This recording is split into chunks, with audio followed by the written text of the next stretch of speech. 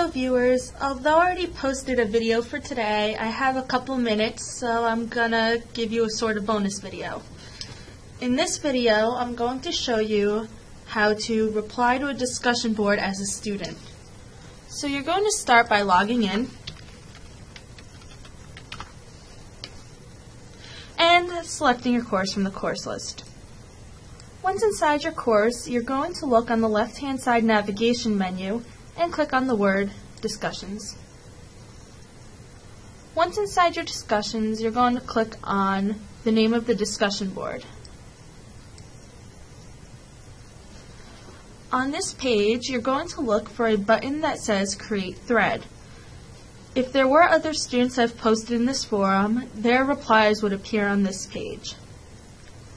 So once again, you will click on Create Thread. And look at the forum description for instructors' instructions. Under subject, you're going to post a subject for your message.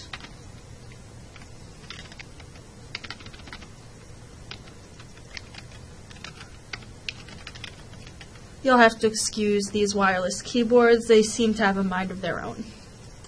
Under message is where you're going to actually type your reply for your discussion board.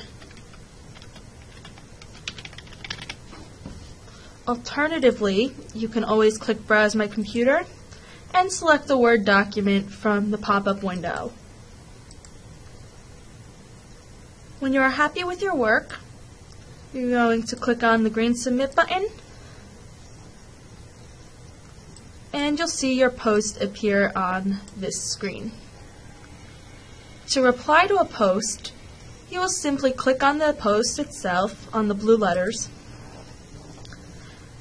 and click on this button that says Reply.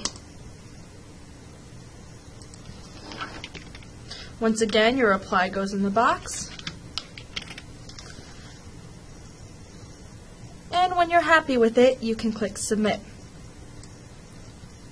And that's all there is to it when posting on a discussion board. If something doesn't seem to go right, you can always contact your instructor, and your instructor can help figure out what happened. Uh, thanks for watching, and be sure to subscribe if you like this video. Bye-bye now.